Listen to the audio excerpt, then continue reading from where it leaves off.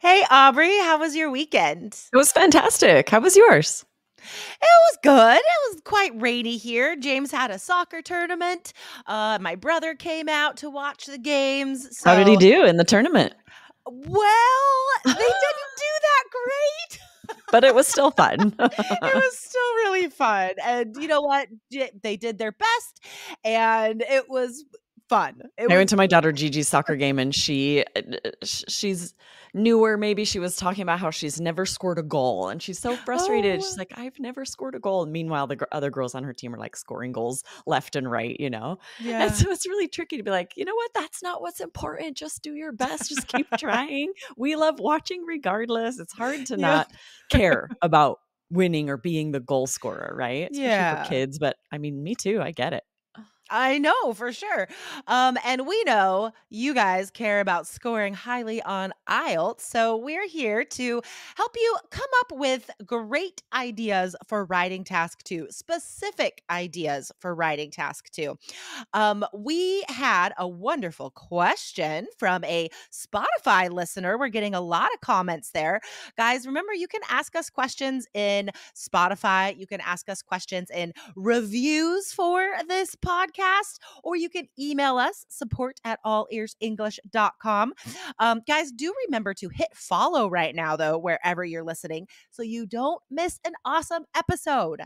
Yes, one of our really recent ones was such a great vocab episode. A student had asked us if it's okay to use get on IELTS, and we talked about why you shouldn't because you're replacing really high scoring vocabulary. So scroll up if you missed that one. It was 1328. Don't use Mhm. get on IELTS. And like Jessica said, hit follow so you never miss any of these great episodes. Awesome. All right. So let's get into this question, guys, from Agnesia Mayola. I hope I said that okay. If not, we Um, apologize. I apologize on behalf of Jessica's breast. Yeah. that sounds right. I think you're right. I hope so. Thank you for apologizing for me. You're welcome. We're a team here at IELTS Energy. All right, guys. So here's the question It's really hard for me to process ideas while writing, especially in writing task two. How can I elaborate the ideas simply and I th- she says right to the case, but I think she means like suitable to the topic, you know, like yeah, like staying right to the point, right? Staying on topic. I think so. Totally. So, yeah. Okay. So basically, guys, Agnesia is asking, how do I come up with great, specific, appropriate ideas on writing task two while I'm writing? That's the question. So, Aubrey, what is our first piece of advice here? Yes, the first advice is don't think of ideas while you're writing. Yeah. Right? All of that should happen in the brainstorm, which should be very separate. You are brainstorming your ideas, details, and examples for those ideas. And by the time you start writing, you should have a very clear map of what you're going to write. And then if you are coming up with new ideas while you're writing, you're wasting time. You're doing something wrong. Exactly, guys. Do not come up with ideas while you're writing. Um, later in this episode, we're going to share a recent IELTS Task 2 question, and we're going to give you examples for a brainstorm for this. We're going to actually show you some real um, high scoring examples and details that you can use in writing Task 2. Um, so let's talk about first, though what kind of ideas are the options even? What do examiners want to see? Well in order to get a 7 or higher for task on writing task 2 you have to expand on your ideas. So that's why we tell you don't just put as many ideas as you can into each paragraph. And that's often what happens when you're thinking of ideas while you write. You're not fully exploring one idea. You're just saying, and this, and this, and this. And that cannot get a six or higher for task, right? We have to elaborate or expand on ideas. Um, so, what are our options here? Like, w- how do we expand on ideas? Right? You want to look for evidence, proof from real people, you know, real places, real times.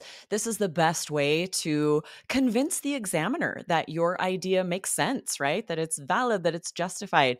You you can use examples from your life, your mm-hmm. friends, yourself as your details and examples so that whatever idea you're coming up with, this gives it weight. This expands on that idea.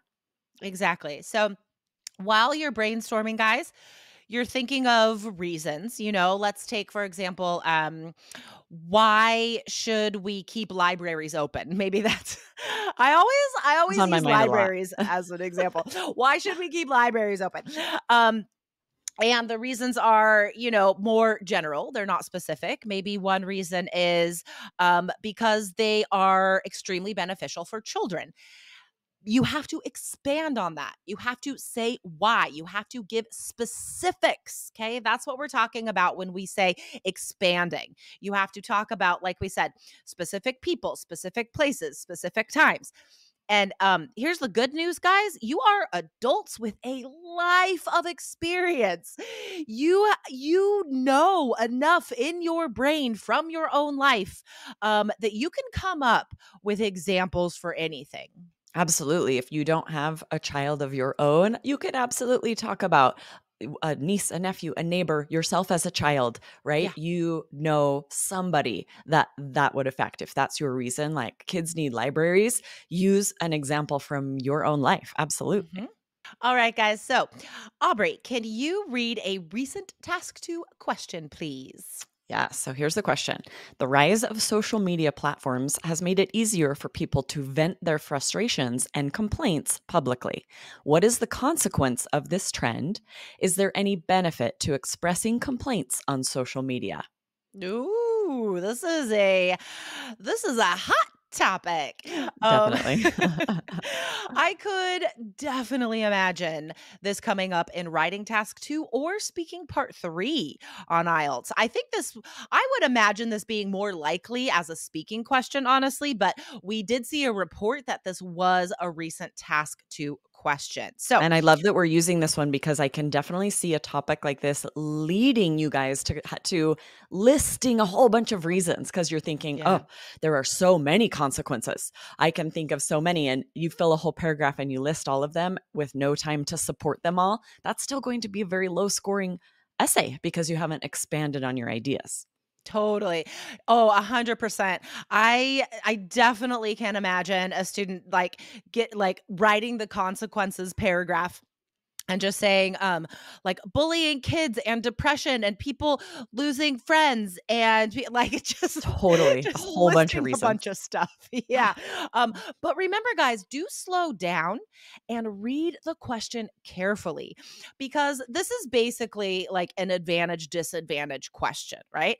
And a lot of those questions are presented in a plural form like what are the benefits of this phenomenon or whatever this question does not say that, right? So it says, What is the consequence? It's asking for one right? So you have to just give one general consequence and support that. And same with the benefit, right?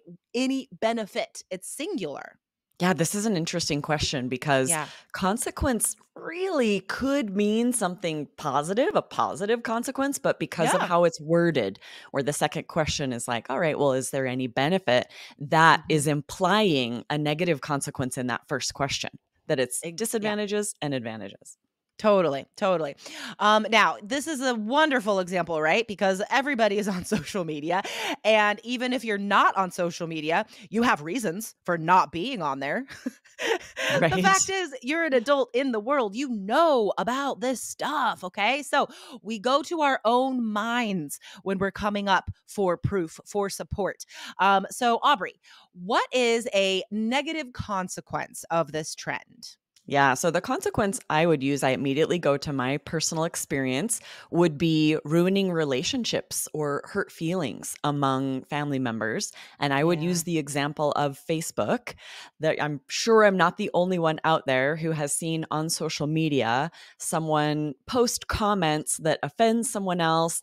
And now people who don't know each other are engaging in the comment section. And because of the anonymity of social media, they will say things more harshly, right? More, uh, they're not as kind as they would if they had this argument in public. And that Mhm. it can lead to this people unfollowing, hurt feelings. Now no one's talking to each other. So this would be a very easy consequence for me to defend with real life personal examples.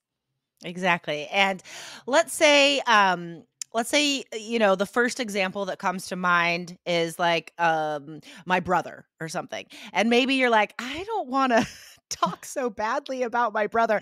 That's okay. Just make up a friend, you know, just Totally. say it's like a person.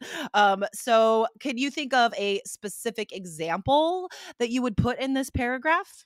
Yes. So my friend, he he posted uh, something political, but quite even, you know, just sort of his opinion on Facebook, and then in the comments section, people he knew who had very varying political opinions started arguing about it, and it sort of became more and more harsh. Um, and then, and I actually unfollowed this friend Oh because gosh. I'm seeing those posts come up in my feed, and it's very negative. It's very inflammatory and Mhm. extreme. And I'm like, I don't want to have to read this stuff, right?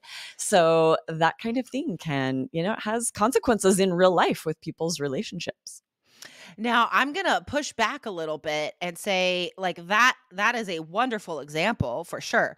But we could show even stronger support and more vocabulary if you are more specific. If you say an exact political issue, for example, like Mm. that would bring up more um, vocabulary than just saying like a political post, That's a good point, right? I'm staying really general. Whereas if I, and I know this was about the election, this was when Trump was running for pre- the presidency. And I could, yeah, this would bring up more interesting vocabulary if I say that, right? You know, name my friend and then share posted his support of Trump and then, yeah, get really specific. So here's here's the I'm gonna present a benefit because I know like that's probably a more difficult thing to think of for Mm, this one. for sure. Um, but I do want to just hammer this point home, guys. This is the biggest takeaway today is that in your support, you need to be as specific as possible, right? We can't just say like a post, for example. That's not an example, right? You have to say like what was the post about? You know, what did it say? Mm, Who was this? Like what were the number of people that unfollowed them or something? So mm. just push yourself to be as specific as possible. So, I also want to give you guys another little bonus strategy here for when you're brainstorming when I was trying to think of a benefit, for example, I'm like, real people, real places, real times, like going through our strategy, I actually came up with an example first. And then after that, I extrapolated. That's a good word. I extrapolated the reason. Um, and that I think is very useful if you are. If you feel stuck, you're like, I can't think of a reason. Like, what's an overall benefit? I don't know Mm. Think of an example first. So the example I thought of, it's happening right now. It's very current. The um, teachers in Portland Public School District are on strike right now. And from an outsider view, someone might say, Oh, like, oh, they just want more money. Like, that's why people strike. They just want higher salaries. However, I um, have seen my teacher friends posting on Instagram and Facebook, and they are they are explaining their strike demands like smaller class sizes, more help with special needs students, right? So this actually serves to educate the public with these real quote unquote frustrations and complaints, right? Um, so after I could write about that example, I think, oh, like that's the reason. These posts can actually serve to educate the public. Oh, I think that's such a good example. And I'm glad we did cover this because I agree. I think this might be really hard if someone has really only seen negatives from social media and then you're asked, is there any benefit? you can't just say no i don't think there is right you have to come up with something and that's where you might have to get a little creative you've seen this where you know opinions are shared and it's educating the public and and that's the type of thing that you're you have to think like okay there are some benefits i need to be able to share one here with some details yeah, for sure, for sure. Um, and like I said, guys, if you can't, if you feel stuck, if you can't think of a benefit, you know, if you can't think of whatever reason for the topic, just go to your little mind palace, right? Focus on the topic, social media, people um, posting opinions, saying they're frustrated, maybe complaining about something. Think of some examples that you've seen. There has to be something that is a positive to come out of one of these things. Yeah, absolutely right. Come up with the example and then build from there. What's the benefit? Awesome. Awesome. Remember, guys, you can ask us a question and be featured on a future episode. You can ask us in Spotify or leave us a review on Apple Podcasts, Spotify, Castbox, wherever you listen. Um, and, guys, do remember to hit follow right now because we have another fantastic episode coming up tomorrow. Yeah. Awesome. I'll see you tomorrow. Bye. Bye.